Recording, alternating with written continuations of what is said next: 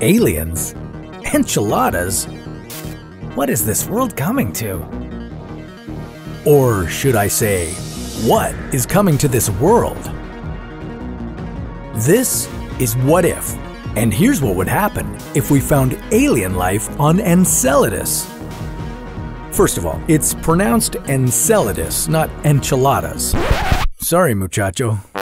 Enceladus is Saturn's sixth largest moon, but it would be better described as a winter wonderland. Winter because it's covered in ice and has an average surface temperature of minus 200 degrees. Wonder because just 40 kilometers below its surface are the ingredients for life. Are there aliens out there?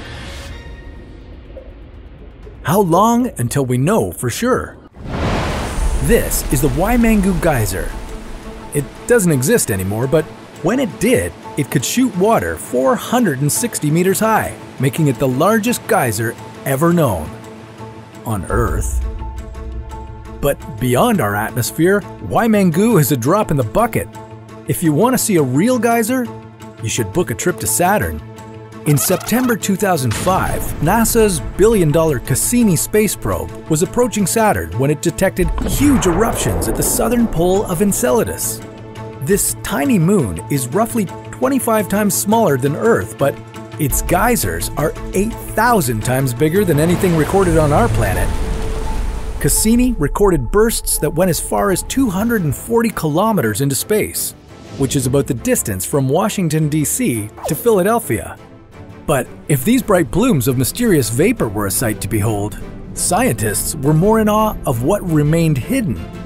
Beneath 40 kilometers of thick ice, there's an ocean on Enceladus, and it's remarkably similar to the oceans we have on Earth, where life might have begun. The data collected by the Cassini space probe indicates that the water on Enceladus is salty and is likely heated by hydrothermal vents. If Enceladus's ocean works like our own, it's expected that these subsurface vents expel hydrogen-rich hot water, which mixes with organic compounds to create amino acids, which combine to form proteins, the ingredients for life. Our planet is estimated to be about 4.5 billion years old. The earliest evidence for life on Earth comes from fossils that were found in rocks that were roughly 3.7 billion years old. Today, Enceladus is estimated to be about 1 billion years old, which, if it's following the Earth-like timeline, would put it at the right age to start supporting life. But considering that for 90% of our planet's history, life on Earth was microbial, chances are that alien life on Enceladus would also be microbial. The big question is, what might these aliens look like? We're talking about creatures formed in cold, dark water with no access to sunlight.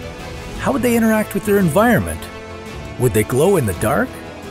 Or would they see without eyes? How might they evolve in size and in intelligence? And will we ever find them? Or will they find us? That is a story for another What If.